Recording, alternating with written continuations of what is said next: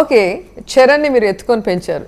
ఇప్పుడు చరణ్ ప్రొడ ప్రొడ్యూసర్గా ఆయన సినిమాలో మీరు యాక్ట్ చేయటం ఎలా ఫీల్ అవుతున్నారు?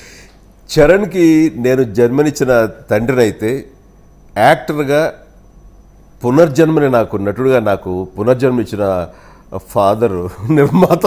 అవకాశం ఇచ్చారు అమ్మా. రెడీగా అందరు చేయటానికి. చరణ్ నాకు పునర్జన్మ అవకాశం మీరు చరణ్కి ఇచ్చారు. అంటే దాన్ని బట్టి మీకు చరణ్ ఎంత ఇష్టం అర్థం అవుతుంది నిజంగా నేను నేను ఇవ్వలేదు రోజా. ఆ అవకాశం వాడు అందిపుచ్చుకున్నాడు. ఎందుకంటే ఎవరికి చేద్దామా one fifty cinema one fifty తనగానే ఎవరికి నేనే చేస్తానని. అంటే నువ్వు బిజీగా ఉన్నావు కదా సో acting లో. ప్రొడ్యూసర్గా మీకు అన్ని రకాలుగా సపోర్ట్ చేశారా? చాలా బాగా చేశాడు. నేను అదే అంటాను. ఎలా చేస్తాడు ఏమిటి సమర్థవంతం చేయగలడా లేదా ఎందుకంటే ఖాళీగా లేడు. తను ధృవ సినిమాలో బిజీగా ఉన్నాడు. ఈ సమయంలో ఎలా చేయగలడు అంటే ఫస్ట్ ప్రొడ్యూసర్గా తన బాధ్యత ఏంటంటే అద్భుతమైనటువంటి టెక్నీషియన్స్ని ఓకే. ఎన్నుకోవటం.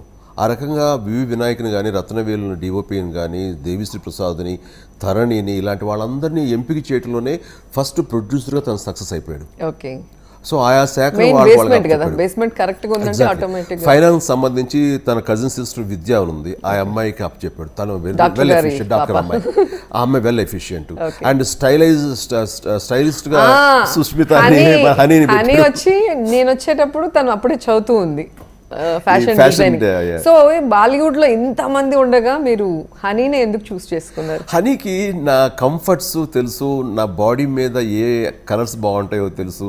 ఇంట్లో ఎదిగిన పిల్ల తను నన్ను బాగా స్టడీ చేసిన పిల్ల లండన్ స్కూల్ ఆఫ్ ఫ్యాషన్ డిజైనింగ్లో తర్ఫీద్ అయినటువంటి క్వాలిఫైడ్ పాప. సో తనకి తెలిసినకి మరి ఎవరికి తెలియదు. చరణ్ అది ఆలోచించి డాడీని నువ్వే చూపించగలవంటే ఫస్ట్ అందరం కలిపి ఎందుకు కొత్తగా ఉంటుంది వై కాడ్ వి ట్రై అని బాంబే వాళ్ళని పిలిపించారు.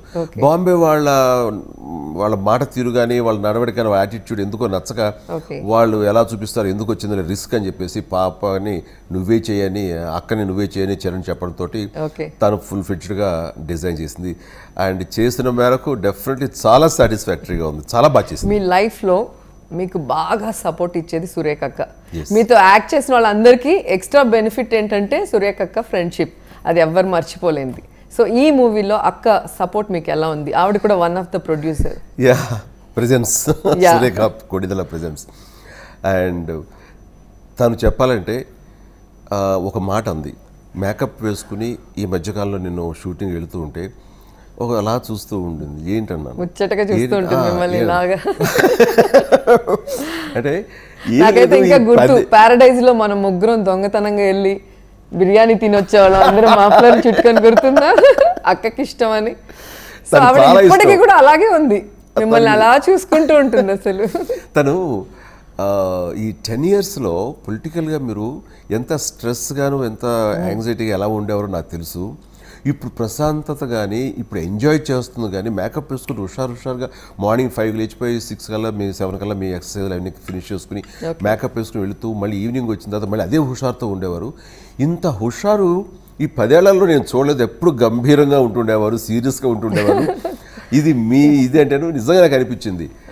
పదేళ్ళ తర్వాత సెట్లోకి వెళ్ళగానే నాకు ఏమనిపించింది అంటే ఆ లైట్స్ సౌండ్స్ కెమెరా యాక్షన్ మనకి అలా ఇలాంటి చిన్న సౌండ్స్ ఇది కదా మన ఏరియా పిల్లల్లాగా చిన్న అనిపిస్తుంది పిల్లల్లాగా అలాగా. మనకు నచ్చినట్టు ఉండటం. మన సామ్రాజ్యం, అందరూ మనని మన ప్యాంపర్ ఇల్లు. చేయాలనుకుంటాం మనం కానీ పాలిటిక్స్లో డిగ్నిఫైడ్గా ఉండాలి.